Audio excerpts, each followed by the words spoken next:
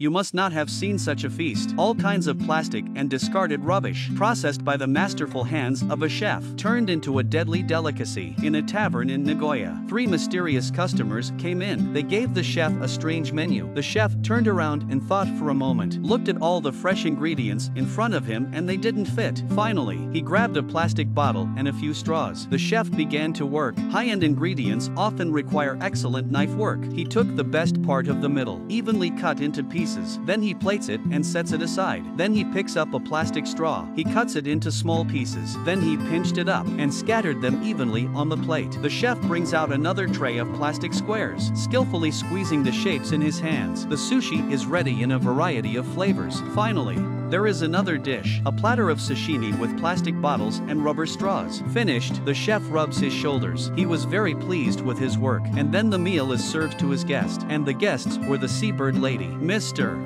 Turtle and Mr. Seal. At the sight of the feast, the seal cried tears of joy. The other two were in awe that this was not just food, it's a work of art. What if we don't get to eat it again? The chef is pleased. He takes a sip of his drink, and not far away, the human is eating a plate of freshly sliced raw fish. Film offers a unique perspective, reveals the reality of human pollution of the marine environment at the current rate of development. By 2050, 99% of the world's seabirds and 52% of sea turtles will have accidentally eaten plastic. More than 250,000 tons of rubbish will form islands on the surface of the sea. In Spain, an average of 29 kilograms of plastic waste could kill a sperm whale.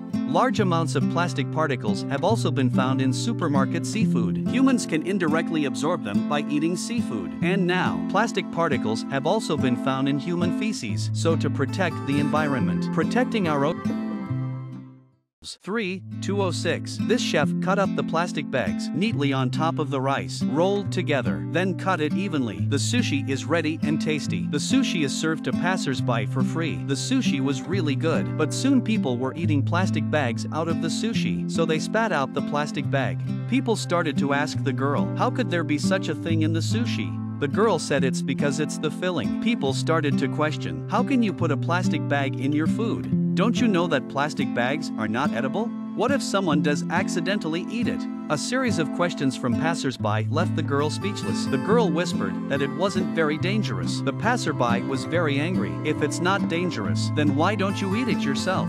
So the passersby started to verbally attack the girl, but the girl said she didn't know what she was doing. The company told her what to do. This explanation obviously didn't work.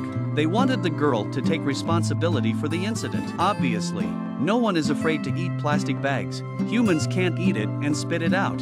What about animals? Thailand. Millions of tons of plastic waste are produced every year. Every year, millions of marine animals die every year from eating plastic waste. These horrific images are shown every day.